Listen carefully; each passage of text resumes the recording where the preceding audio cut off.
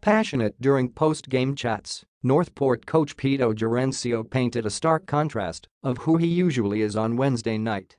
Speaking to reporters on his way out of the Big Dome, the Batang Pier mentor unloaded a couple of terse lines after his team narrowly lost to the Phoenix Pulse 96-98 in the resumption of the PBA Philippine Cup action. Referees don't decide the game, he said. Let the players win the game and lose the game Last one minute then you call offensive foul? And in the video, it's so clear that there was none.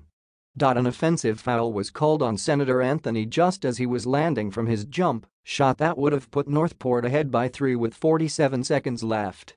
Phoenix's Justin Chua was apparently hit by Anthony's hand. In the next sequence, Fuel Masters gunslinger Matthew Wright was called for a charge for pulling Ryan Arana's jersey on his way to the basket. The latter fouled Jason Perkins in the next possession which led to two made shots from the charity stripe enough for the Phoenix victory.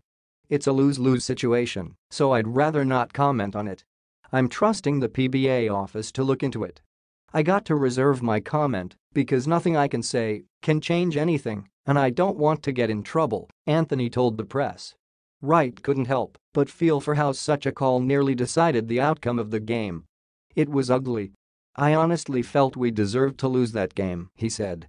I didn't see a foul when Sean Anthony hit the shot. I guess when they called a foul on me, that was a makeup call. But I feel like it was a very strange game, very inconsistent but someone had to win, and I'm just happy that we were lucky enough to win this game even without Stanley Pringle playing, he added. Both Wright and Anthony felt that their respective teams could have made more effort to carve out a convincing win. Highly disappointing but put that aside, we had chances to pull away, Anthony closed.